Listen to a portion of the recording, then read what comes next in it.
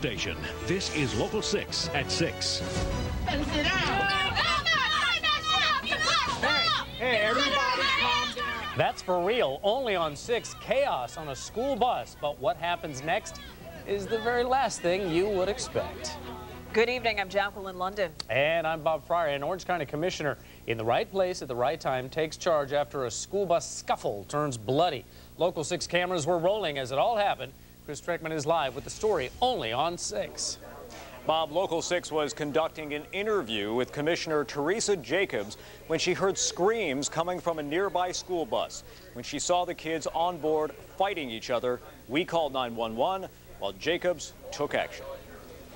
You can see the children out of their seats and fighting as the bus was waiting at the intersection of John Young Parkway and Old Winter Garden Road. Orange County Commissioner Teresa Jacobs demands entry to the bus, and inside, mayhem.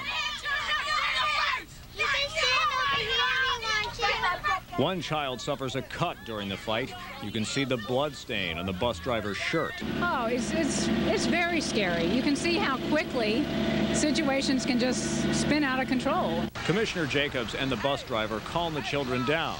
Meanwhile, sheriff's deputies take the most violent child away in handcuffs. You get that mob mentality when somebody hits your friend. You know, even when you think you're under control, you just, people don't always act rationally. It's very unsettling, and there aren't any easy solutions. None of the children involved in the fight was seriously hurt. They were ESE students, meaning exceptional student education kids from Cherokee School. Deputies released the scratch boy back into school custody. One deputy told me today it is unfortunate, but they wouldn't have any trouble finding other students scuffling on buses virtually every day of the week. Live in the newsroom, Chris Trenkmann, Local 6. Chris, thank you. Dozens of kids